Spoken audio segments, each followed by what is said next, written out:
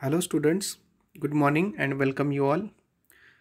Students, in last presentation we have started the cell biology unit where we have discussed some basic introduction to the cell biology and after that the cell.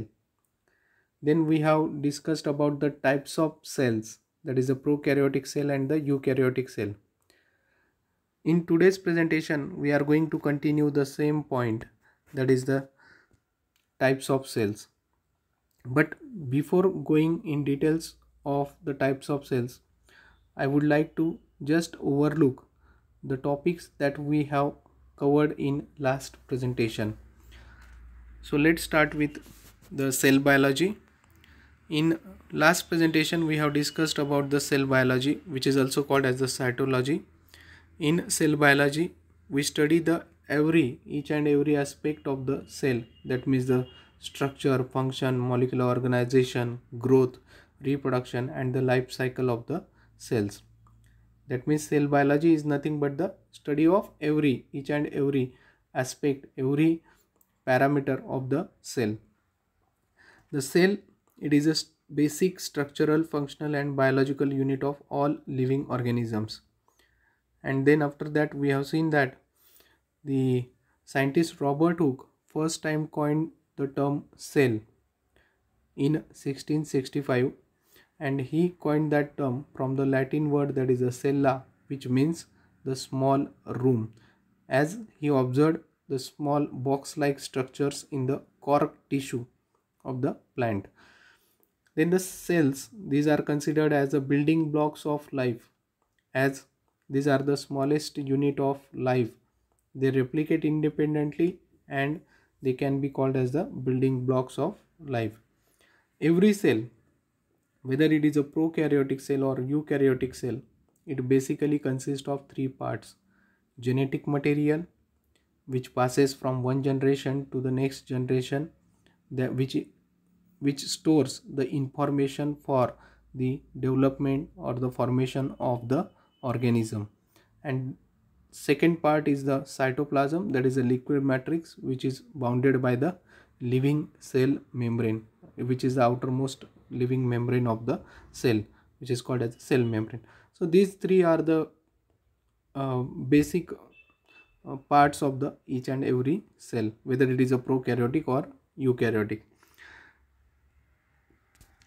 Okay so now to the types of cells in last presentation we have discussed about this the all cells can be broadly classified into the two types prokaryotic cells and the eukaryotic cell prokaryotic cell what it means pro means primitive karyon means nucleus so these are the cells which are having the primitive type of nucleus यांच्यामध्ये जे nucleus असणार आहे ते कशा प्रकारचं असणार primitive टाईपचं nucleus असणार आहे well the eukaryotic cells they are having the advance type of the nucleus त्यांच्यामध्ये न्यूक्लियस कसं असणार आहे? ॲडव्हान्स्ड ज्याला आपण ट्रू न्यूक्लियस म्हणतो.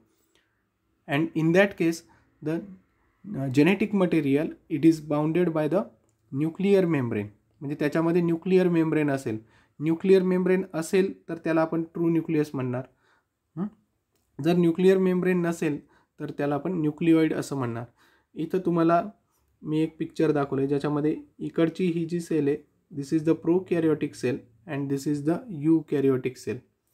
The organisms which show the prokaryotic cell, these are called as the prokaryotes, while the organisms having the eukaryotic cells are called as the eukaryotes.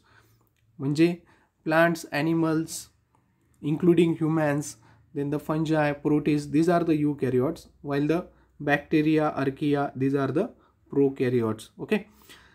Then in this diagram you can see there is the outermost capsule is there which is the outermost protecting covering which is present in some prokaryotes. Then the uh, after that there is the cell wall is present. Cell wall which is present in some eukaryotes also. That is the plants as well as the fungi. But nearly all eukaryotes they show the presence of cell wall.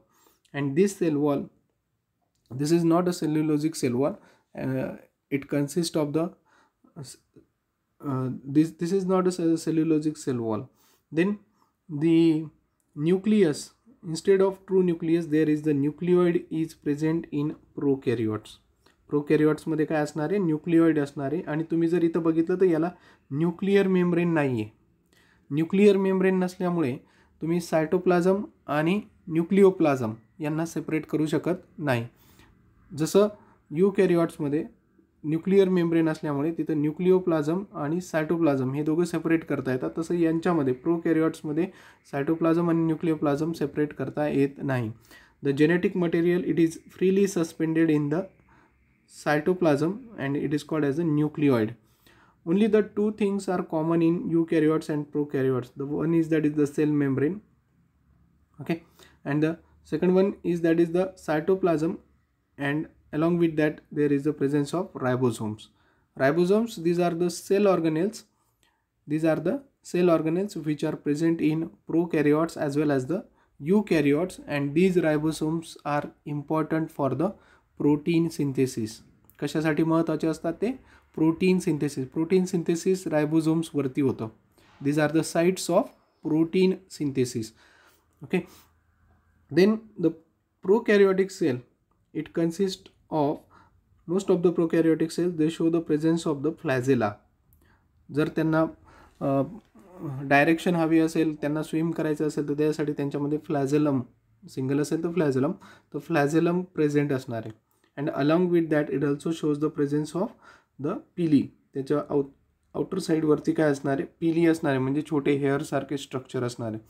Okay so this is all regarding the pro Apart from from the pro eukaryotes the you highly they are highly ते खूप सारे advanced आहेत developed आहेत complex आहेत. त्यांच्यामध्ये सेंटरला काय असणारे न्यूक्लियस असणारे in prokaryotes there is the nucleoid in eukaryotes here is the nucleus nucleus which is bounded by the nuclear membrane कशाने बाउंडेड असणार आहे? न्यूक्लिअर मेम्ब्रेन त्याला बाहेरून डबल मेम्ब्रेन असेल. त्याला आपण न्यूक्लिअर मेम्ब्रेन असं म्हणतो.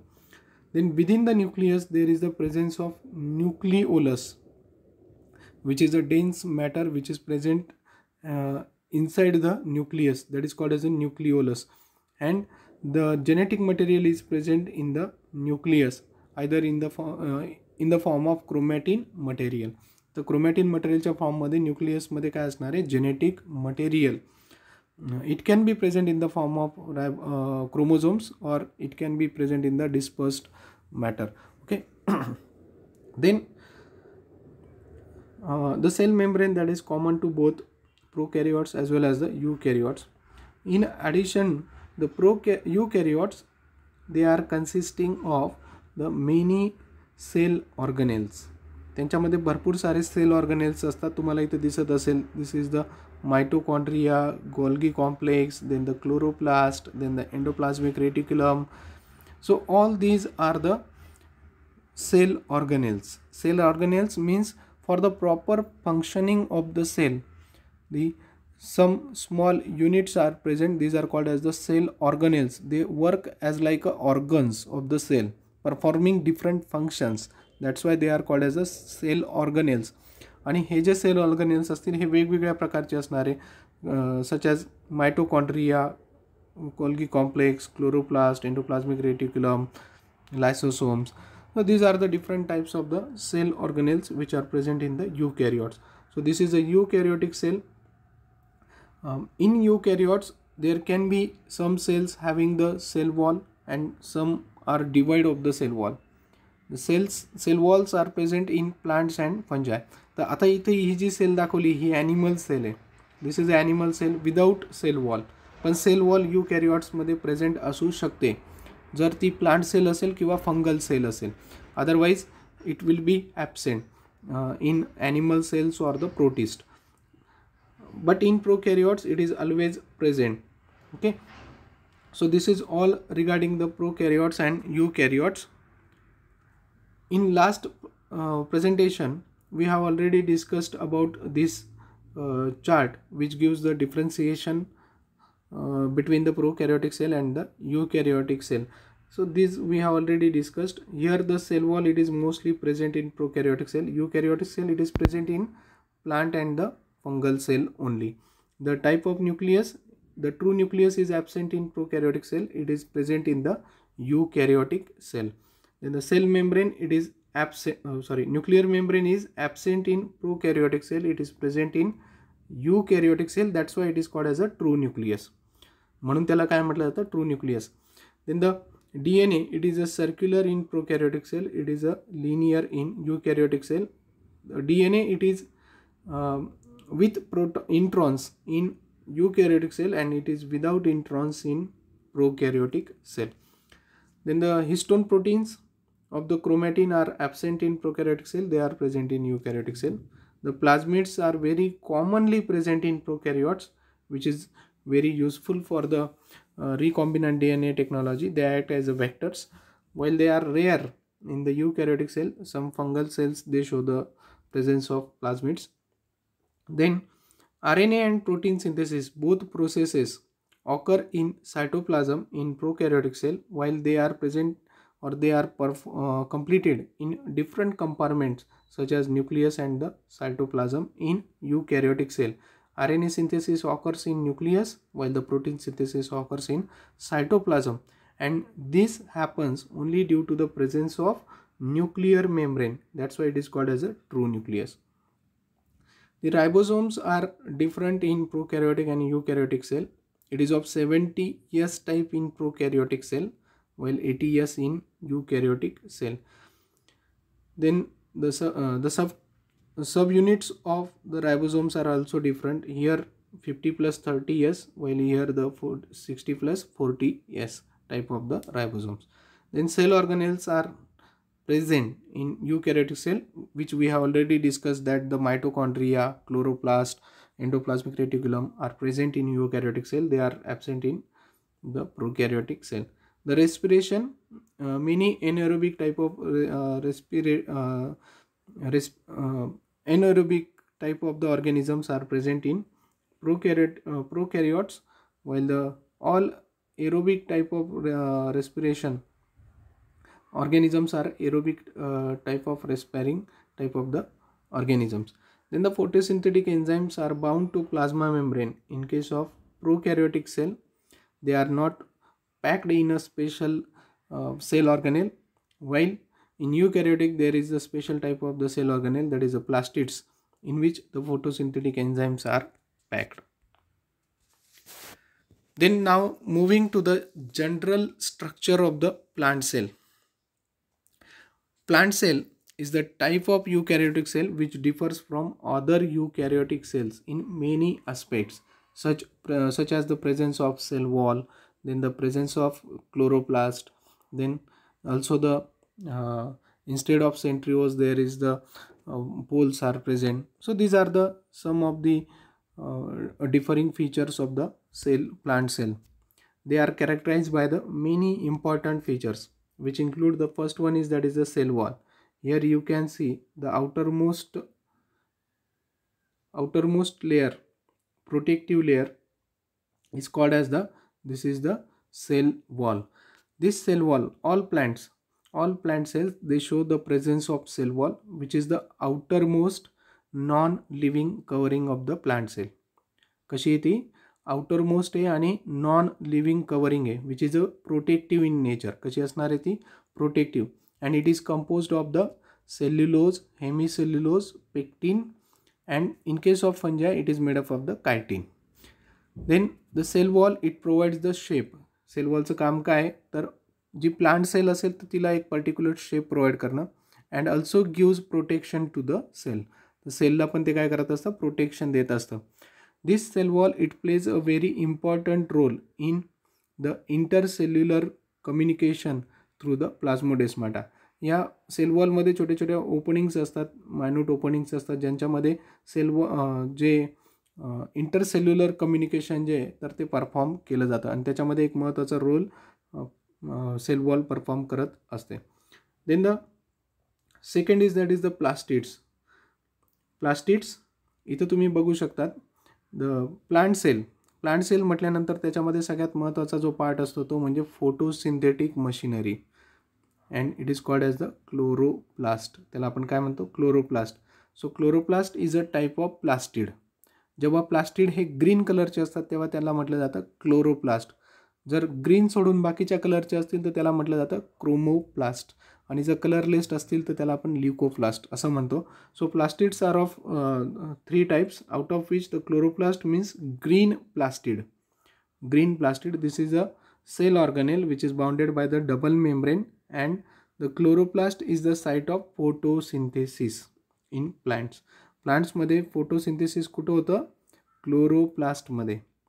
लक्षात ठेवा महत्त्वाची गोष्ट आहे की क्लोरोप्लास्टमध्ये काय होतं? फोटोसिंथेसिस होतं. म्हणजे झाडं स्वतःचे अन्न स्वतः तर कुठे तयार करतात? क्लोरोप्लास्टमध्ये. Which is a green plastid it is a green plastid so presence of plastids is the most notable component of the plant cell plant cell म्हटलं की त्याच्यामध्ये प्लास्टिड्स हे असणार. आणि ते असेल तरच आपण त्याला प्लांट सेल असं म्हणू शकतो. Then the chloroplast is the most abundant and the commonly occurring plastid तर सगळ्यात जास्त ऑकरिंग असं हे प्लास्टिड असतं chloroplast chloroplast contain the chlorophyll which is a green coloured pigment chloroplast हे जे तर हे काय ग्रीन कलर्ड याच्यामध्ये ग्रीन कलर्ड पिगमेंट असतं ज्याला आपण काय म्हणतो? Chlorophyll which absorbs the sunlight and allows the plant to make its own food तर त्याचं काम काय असणार आहे? क्लोरोफिलचं तर सनलाईट ॲब्झॉर्ब करणं.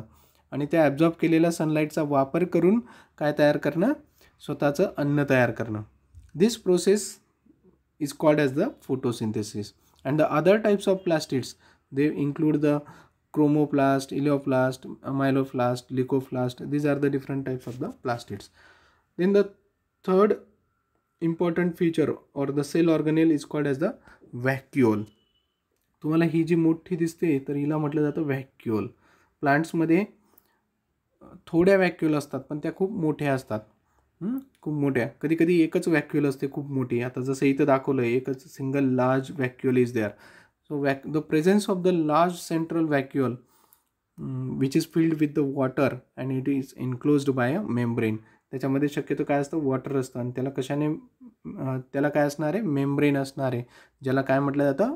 Tonoplast it is called as the tonoplast so this is the vacuole vacuole maintains the cells turgor pressure and it also stores the useful materials and it digest the waste material आता व्हॅक्युअलचे function काय? तर सेलचा जो काही turgor pressure आहे तर तो maintain करायचा. आणि जे काही महत्त्वाचे जे मटेरियल्स आहेत युजफुल मटेरियल जे आहेत त्यांना स्टोअर्स करायचं आणि जे काही वेस्ट मटेरियल त्यांना डायजेस्ट करायचं. So these are the functions of vacuole then the next one is that is the cell membrane cell membrane it is also called as a plasma membrane or cytoplasmic membrane the cell membrane, इथं तुम्हाला दिसू शकतं हे दाखवलेलं जे आहे that is called as a cell membrane or here it is shown cell membrane inner membrane living membrane that is called as a cell membrane it is also called as a plasma membrane or cytoplasmic membrane the cell membrane it is the outer most living membrane of the eukaryotic cell and this cell membrane it separates the interior of the cell from the outer environment. तर बाहेरचं environment आणि आतलं environment यांना से interior जे असेल तर त्याला separate करणारा हा लेअर आहे. It is made up of lipoproteins त्याच्यामध्ये लिपिड्स आणि प्रोटीन्स असतात. म्हणून त्याला म्हटलं जातं lipoproteins and it controls the entry and exit of molecules तर कोणत्या मॉलिक्युल्सला आतमध्ये घ्यायचं कोणत्या मॉलिक्युल्सला बाहेर टाकायचं हे सगळं कंट्रोल करायचं काम कोण करतं? सेल मेम्ब्रेन करतं. Then next one is that is the nucleus तुम्हाला सगळ्यांना माहिती आहे nucleus is nothing but the controlling centre of the cell इथे तुम्हाला जे येल्लो कलरमध्ये दिसतं आहे that is the nucleus and this nucleus it is the controlling centre of the cell सेलमधल्या सगळ्या ॲक्टिव्हिटीज कंट्रोल करायचं काम कोण करतं? न्यूक्लियस करतं. So all eukaryotic cells they have a well defined double membrane bound nucleus which acts as the controlling center of the cell. And the nucleus show the outer covering which is called as the nuclear membrane.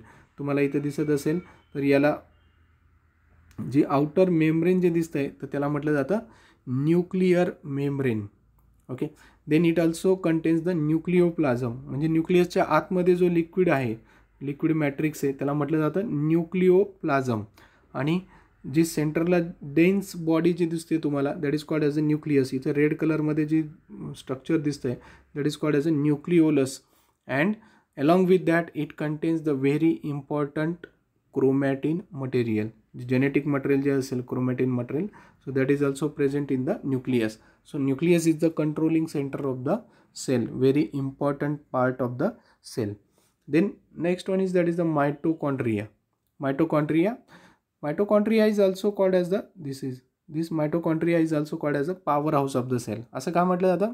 Because it generates the energy त्याच्यामध्ये काय केलं जातं? Energy तयार केली जाते. आणि ती तयार होताना कशाने होते?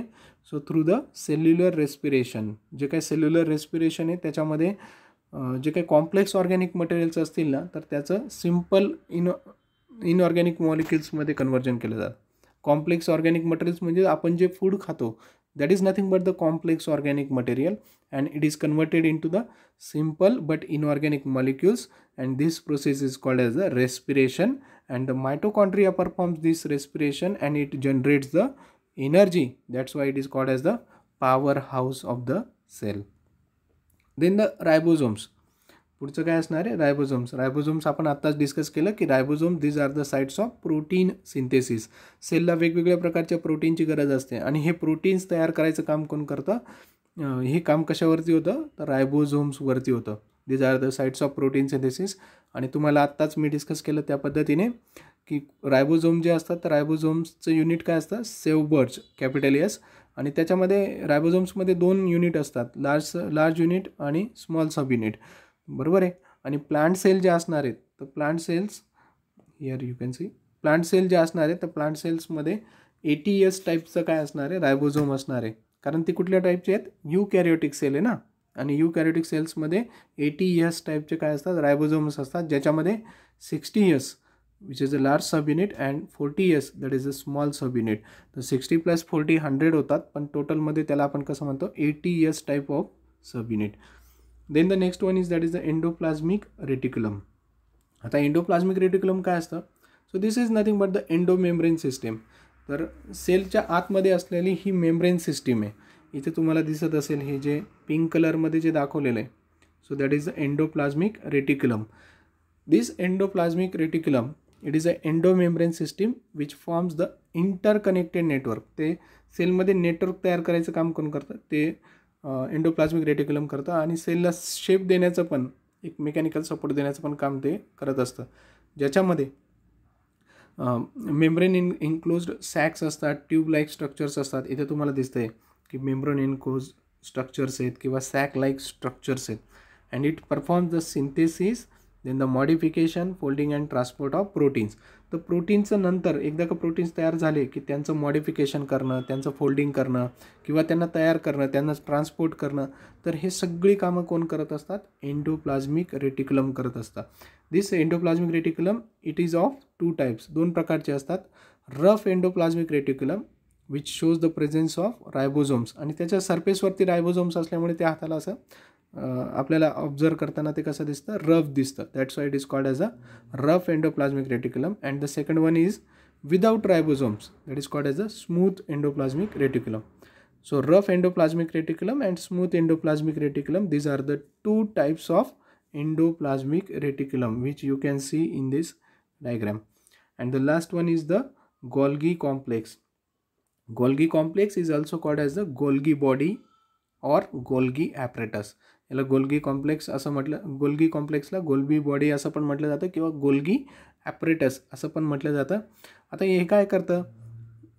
So it it receives the proteins and the fats that is manufactured from the rough endoplasmic reticulum तर रफ एंडोप्लाझमिक रेटिक्युलमकडे जे काही तयार झालेले फॅट्स प्रोटीन्स असतील तर त्याला रिसीव्ह करतं आणि त्याला परत ते मॉडिफाय करतं modifies them and after that concentrates and the packs them into the vesicles to transport नंतर मग त्यांना ट्रान्सपोर्ट करण्यासाठी अशा वेझिकल्समध्ये पॅक करण्याचं काम कोण करतं? गोल्गी कॉम्प्लेक्स करतं. So all these are the different types of the cell organelles which are present in the plant cell this is the general structure of the plant cell जर तुम्हाला एक्झाममध्ये क्वेश्चन आला तर या पद्धतीने तुम्हाला सगळ्या सेल ऑर्गनेलची माहिती त्याच्यामध्ये द्यायची. In addition to the plant also contains of Uh, consist of some other cell organelles such as the lysosome, glycosomes and others are also there but we have covered only the nine of them. Okay so that's all regarding the general structure of the plant cell. Thank you